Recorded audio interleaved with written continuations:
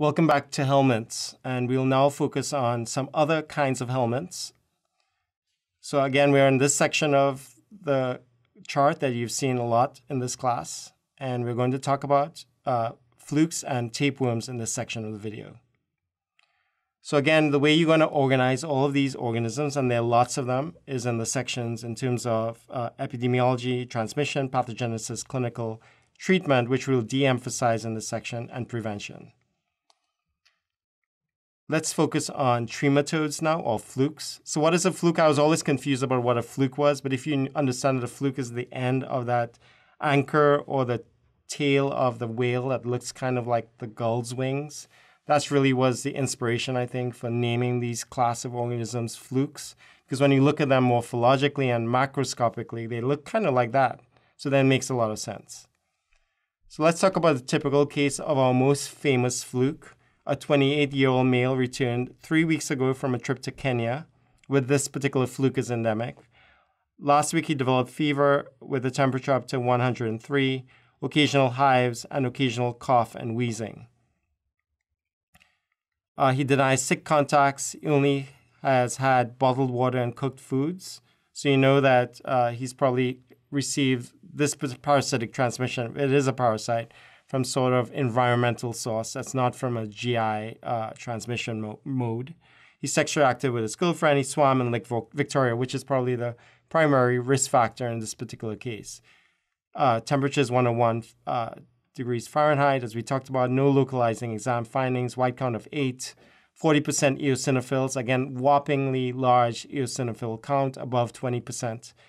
And this is what he described having, which was swimmer's itch. Uh, and this is a disease process called uh, schistosomiasis, um, and that we'll talk about. How do you get schistosomiasis? Well, you get uh, these cercaria, which are swimming around in the water, in fresh water usually. Uh, Lake Victoria is a famous place where there, there are tons of parasites. These fork tailed uh, cercaria then penetrate your intact skin and then uh, go into the bloodstream. Now they go into the bloodstream and they kind of love the liver and spleen in this particular organism. So they go to the portal uh, system and they eventually set up shop in the mesenteric venules. In terms of most of the organisms, that's what occurs. In one particular organism, which is in northern Africa, uh, Schistosoma hematobium, it kind of likes the venous plexus of the bladder so that's where that particular organism sets up shop. Because these cercaria then uh, turn into larvae, which then move around in the bloodstream, uh, laying eggs. These eggs and the presence of the eggs and the inflammation because of the presence of the eggs is really what causes disease. So, in terms of the mesenteric venule system, uh, that inflammation basically uh, causes portal hypertension and a traffic jam in that uh, vasculature, and what you can get is uh, a lot of uh, uh, enlargement of the liver and the spleen, uh, uh, varices in the GI system, and many of these patients can die from just massive GI bleeding because of the the obstruction in that um, you know those capillaries in that area. In terms of the schistosoma hematobium, uh, which loves the bladder and the, the, venous plexus of the bladder. Uh, the eggs that gets um, laid there by the adult worms, uh, they can cause this inflammatory reaction, which can not only cause uh, hematuria, but can cause uh, is a big risk factor for getting bladder cancer in the future. So when these eggs get laid, uh, they hatch into larvae and then cercaria again, which happens in fresh water the cercaria then affects snails or infects snails. And snails is really where the life cycle can be completed. And the snails then release multiple cercaria into the freshwater again to affect humans uh, in this way. So in the first 12 to 24 hours, you can get swimmer's itch, although another uh, term for swimmer's itch is really applied to non-human schistosomiasis that you can get from other kinds of birds and mammals and even in California, which wouldn't cause any of the disease we were talking about, but you can get swimmer's itch from non-human schistosomiasis as well. So Katayama fever occurs two, two to six weeks later. Uh, and what happens is that as the worm matures, you get antigens being expressed that cause this immune reaction. And this immune reaction can cause a rash and fever. And that's what's uh, seen as and known as Katayama fever. And then finally, uh, in its chronic phase, depending on where the worm migrates, if it's the liver in terms of schistosoma mansoni or japonicum, you can get symptoms like in terms of portal hypertension and varices and GI bleeding, or in the bladder in terms of schistosoma hematobium, where you can get hematuria as well as bladder cancer. Uh, these symptoms can be quite chronic and debilitating. Schistosomiasis is one of the major parasites that we have uh, worldwide, causing a lot of mortality and morbidity. And you can see that most of the areas that are affected are mainly uh, sub Saharan Africa, kind of the same places where TB is endemic as well, as well as Asia. Um, and depending on what kind of species that you're talking about, you can get different species affecting different areas. How do you diagnose it? You can diagnose it by stool O&P or by urine O&P in terms of that bladder variant. You can diagnose it by serology or histology, where you can find uh, presence of the parasites in various organs that are affected, particularly the bladder wall, for example. Let's focus our attention now on the last group of parasites, which are tapeworms or cestodes.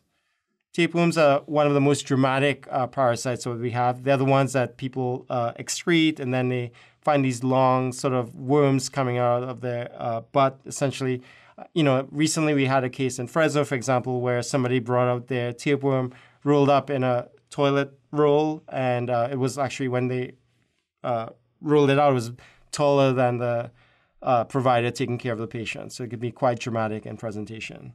We're going to focus on uh, three main uh, tapeworms uh, that we'll talk about in this section.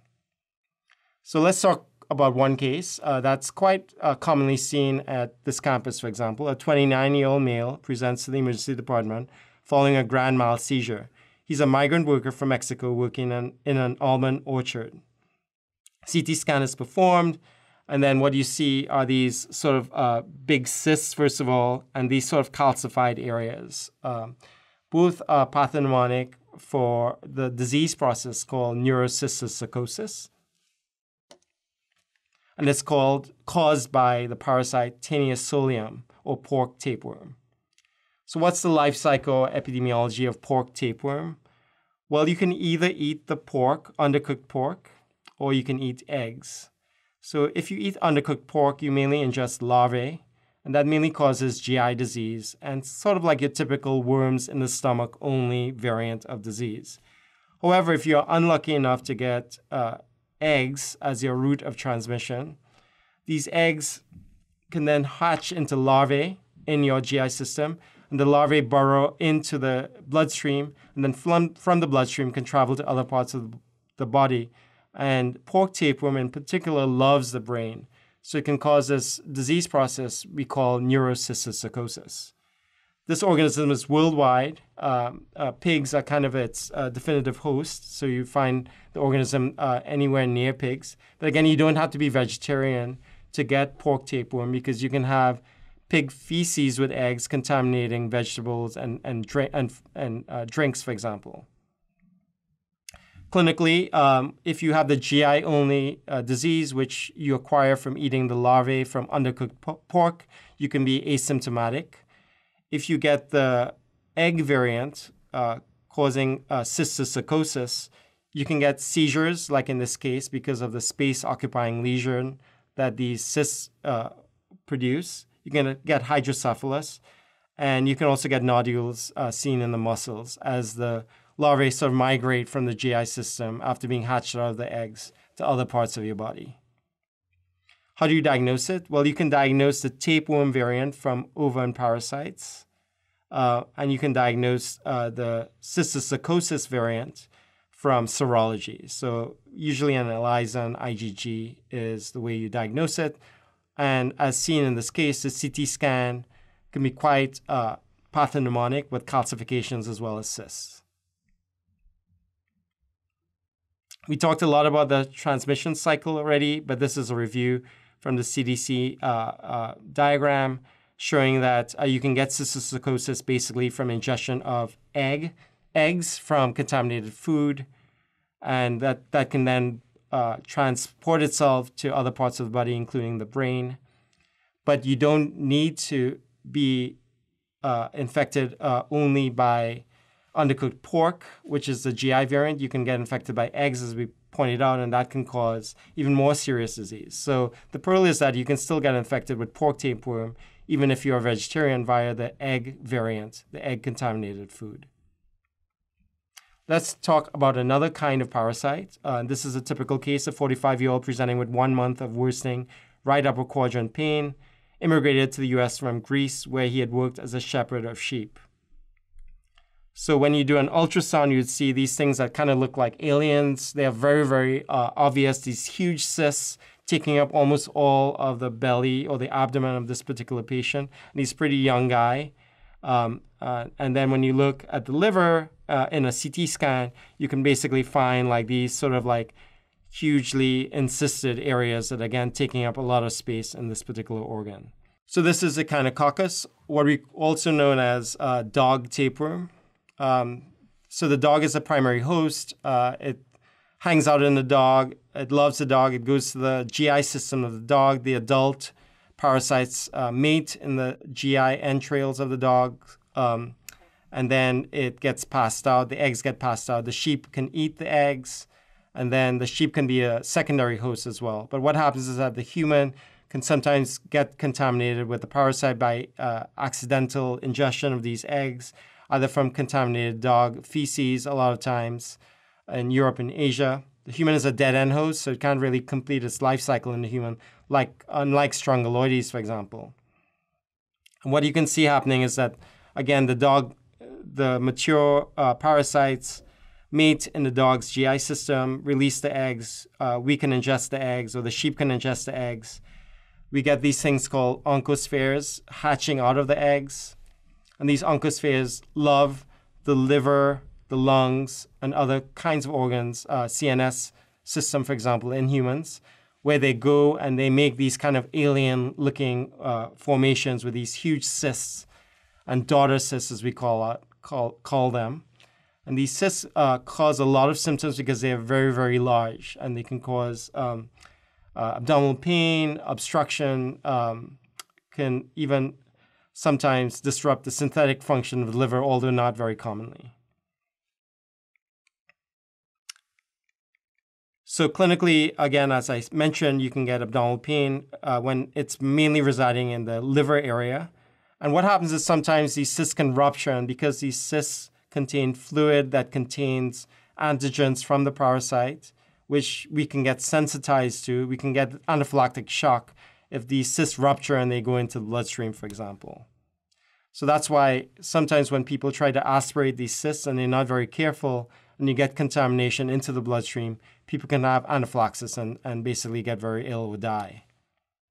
How do you diagnose it? Well, nothing really looks like this apart from echinococcus. You slap an ultrasound on, and you see these things really looking like aliens that are really taking up almost all of the belly. You can also diagnose it by serology, but the imaging is very, very, very characteristic. You treat uh, depending on the stage and the size. Uh, we're not focusing on antiparasitics, again, as I mentioned in this section. People can sometimes do surgery, but you're going to be very careful not to release the contents of the cysts into the bloodstream because, again, you can get anaphylaxis and die. Let's move on to another uh, type of tapeworm. 32 man, year old man presents with three months of worsening fatigue. Anemia is detected on CBC. And then you can see the CBC smear where this is a macrocytic kind of anemia. So the vi- vitamin B12 level is low. You do an endoscopy and you find this tapeworm. So that's a tapeworm that's just kind of uh, hooking on. You see in the end of the tapeworm that's coming out from the intestines uh, as you do the endoscopy. So I just wanted to say a few words about anti-helminthics. We intentionally didn't emphasize them a lot in this section because there are many of them, and you can always look them up in clinical practice when you do encounter a particular patient with a parasitic infection. But we do want you to recognize that there are common par- antiparasitics around albendazole, praziquantel, and ivermectin. And one pearl to remember is that albendazole has the word bend in it. So many of the roundworms, for example, bendy things are treated with albendazole. So, you know, just for your memory aid, I know you guys like that. So here it is. So we talked about a lot of parasites in this section. I hope that uh, they will make sense after a while. I think each of the parasites comes with its own narrative. And if you compare and contrast, that can help you learn them. Uh, not too much detail, but enough so that you can recognize sick patients when, when they come in and they present with particular classic syndromes. There are some online resources for those of you who love parasites you can look up as well as, and we always look this, this up in clinical practice uh, whenever we encounter some of these strange and rare uh, presentations. I also wanted to thank a lot of folks, including Brian Schwartz, for helping me put together many of the slides today in this section. Thank you.